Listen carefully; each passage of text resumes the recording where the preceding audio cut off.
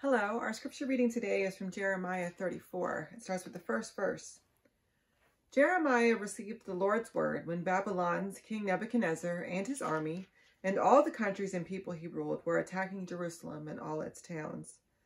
The Lord, the God of Israel, proclaims, Go and speak to Judah's king Zedekiah and say to him, The Lord proclaims, I'm handing this city over to the king of Babylon, and he will burn it down. You won't escape, but will be captured and handed over to him.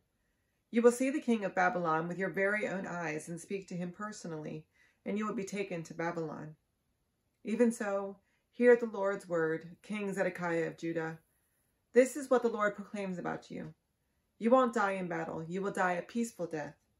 As burial incense was burned to honor your ancestors, the kings who came before you, so it will be burned to honor you as people mourn.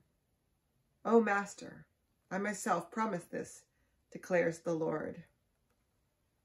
Now this is the beginning of chapter 34. 34 through 45 are called what's called the Baruch narrative.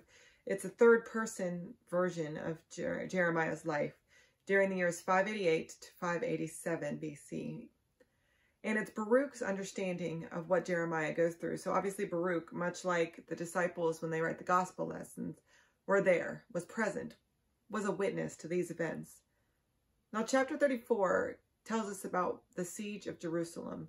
This was when Babylon had finally gotten to the, the walls of Jerusalem, had conquered the rest of the country, the rest of Judah, and was getting ready to enter into the city. And obviously everybody was really afraid and upset.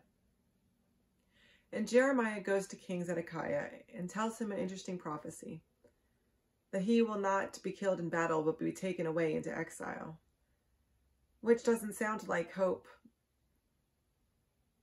It doesn't really sound like a promise that maybe we even want. Maybe it would be better to die in battle, King Zedekiah thinks.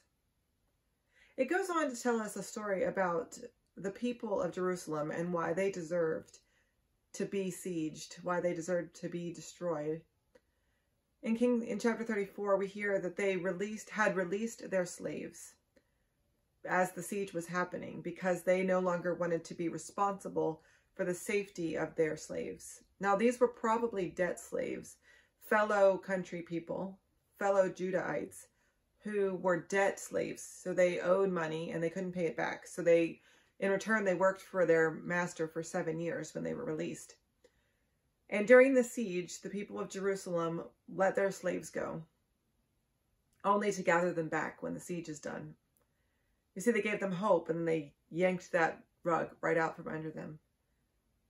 This evidence of self-centeredness, of selfishness, of an unaware, a lack of being aware of their impact on fellow humans, on humans who had less, who needed more care, is exactly why God says they are being destroyed and sent into exile. It's as, it's as if God sees that even when given the chance, even when the destruction is at their doorstep, they are incapable of change. In the next few chapters, we hear about what happens because they aren't able